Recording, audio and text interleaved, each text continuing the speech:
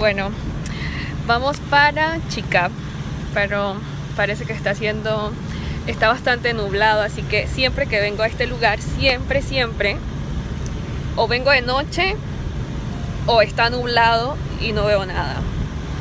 Y esta no es la excepción. Vine, había que sol, ahora ya se colocó totalmente nublado. Así está, está totalmente nublado. Hace que frío. Qué frío. Y aquí mi compañero manejando.